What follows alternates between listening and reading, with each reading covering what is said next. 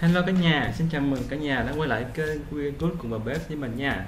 Hôm nay Quyên Good sẽ giới thiệu tới cả nhà một món ăn rất là thơm Rất là ngon, rất là bổ dưỡng và rất nổi tiếng ở Việt Nam đó là món rau câu. Đó là sự kết hợp giữa rau câu, vị dừa, cốt dừa thơm béo và vị kiwi, xoài, chua chua và ngọt. Ăn rất là đã vị và rất ngon nha cả nhà ơi. Rồi chúng ta cùng vào bếp nha về nguyên liệu chúng ta sẽ có là một trái xoài các bạn nha. Mình sẽ cắt hạt lựu khoảng 50 gram xoài để mình trộn chung kiwi các bạn. Nó ăn sẽ sự rất ngon. Rồi về nguyên liệu mình sẽ chia làm hai loại là kiwi và dừa các bạn nha. Thì kiwi mình sẽ có nước là 300 cùng 200 ml sinh tố kiwi rất thơm và ngon các bạn. À, không các bạn có thể dùng kiwi cũng được tăng được các bạn nha. Rồi mình sẽ có 60 gram đường và 6 gram rau câu dẻ các bạn nha. Về dừa chúng ta sẽ có 100ml nước hòa với 100ml nước cốt dừa. Đó, và đường chúng ta sẽ có là 80g đường các bạn nha. Cùng 4 gram cho câu dẻo. Đó. mình 10 gram các bạn hãy chia 64 để mình nấu các bạn nha. Rồi bắt đầu mình trộn phần đường với rau câu để mình lát mình nấu các bạn nha.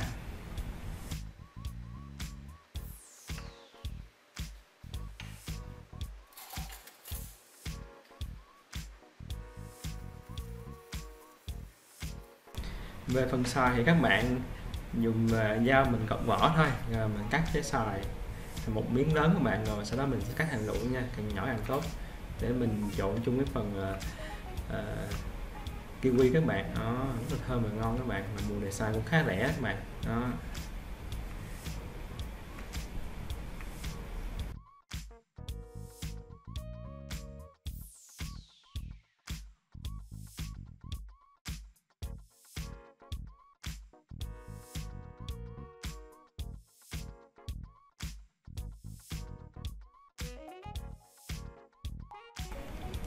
Rồi chúng ta sẽ bắt đầu đổ phần 300 lít nước để mình nấu cái phần à, đo câu của kiwi trước các bạn nha.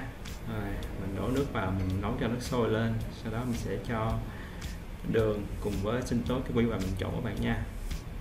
Trộn xong thì mình sẽ cho phần à, xoài chung hoặc là các bạn có thể xoài riêng để mình đổ sao cũng được các bạn nha. Đó. cho tỷ lệ này á, một một hoặc là một hai sẽ thơm hơn các bạn nha. Đừng có tiết phần kiwi quá sẽ không có thơm. Đó. Rồi nước bả bắt đầu nóng rồi các bạn. Đó, mình để sâu quá nha. Nóng thì bắt đầu mình sẽ bắt đầu cho cái phần đường vào thêm. Rồi đường này đã trộn với hộp rau câu các bạn. Đó, mình nhớ khuấy đều các bạn nha. Cho nó được có cái phần à, đậu câu đó, nó hòa quyện với nước. À, nó tan hết toàn bộ thì đậu câu mình đổ sẽ rất là đông cái các bạn mà chưa có tay hết rau câu mình đổ sẽ bị lỏng và nước các bạn nha lưu ý nha. Nhớ khuấy đều các bạn.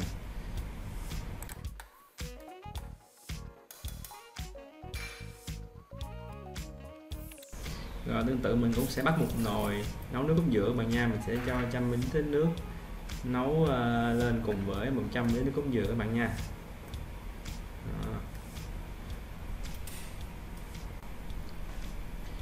Rồi nước đã à, nóng rồi các bạn. Mình cho nước cốt dừa vào nha các bạn. Mình trộn mình khuấy đều nha. Thì các bạn lưu ý nước mà đừng có để nóng các bạn nha. Và nước dừa mình cũng vậy mình sẽ không đổ chung ban đầu. Phải để cho nước hơi nóng nóng rồi mình đổ chung á thì nước dừa sẽ giữ được vị béo không bị tách lớp các bạn. Đó. Các bạn lưu ý nha. Sôi quá nước dừa sẽ tách lớp béo ra ăn xong ngon các bạn nha. Rồi nước uh, bắt đầu nóng thì bắt đầu mình sẽ cho hỗn hợp bột rau câu và đường vào. Mình đến để tan lên các bạn là xong hai phần đông câu kiwi là câu dừa rồi mình sẽ bắt đầu, mình cho là khuôn các bạn nha. Rồi, thì à, phần, bên phần đông câu kiwi thì mình đã, nước đã nóng các bạn. Giờ mình sẽ cho cái xào vào các bạn nha. Mình trộn lên, mình tắt bếp là xong. Rồi mình chuẩn bị, mình đổ cho khuôn thôi các bạn. Đó.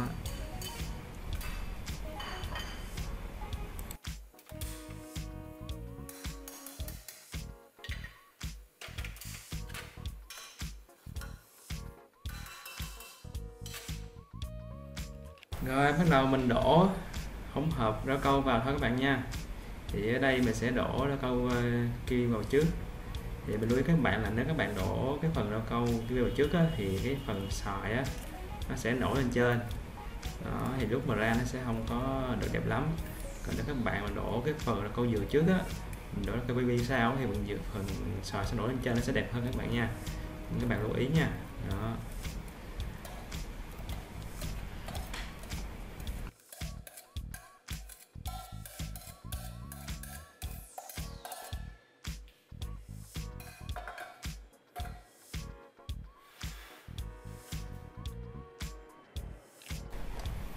Rồi sau khi phần nó câu kiwi sau 3 năm phút nó bắt đầu nó đã nguội các bạn. Tức là không phải là nguội hẳn mà nó sẽ gọi là tạo cái lớp ờ, lớp lớp mỏng lên trên đó là bắt đầu mình sẽ cho các phần nhẹ nhẹ các phần nó câu dừa các bạn nha.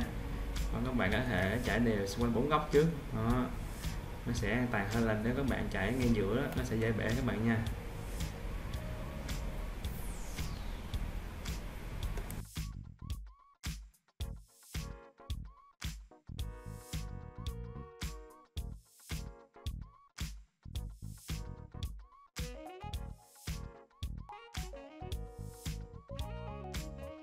Rồi, sau khi mình để hộp đổ câu vào trong tủ mát, thì sau khoảng một hai tiếng đầu là cậu đông lại bây giờ mình sẽ cắt nhà tạo hình, làm trang trí và mình thưởng thức thôi nha Đó.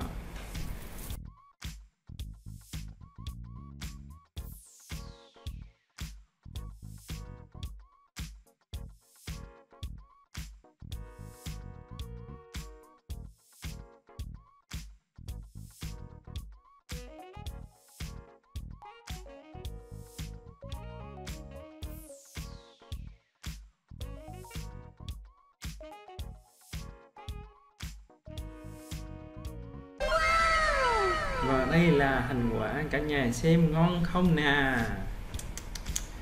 Rồi, sau bữa ăn với đầy dầu mỡ à, ngán tận miệng thì đây là sẽ là món tráng miệng.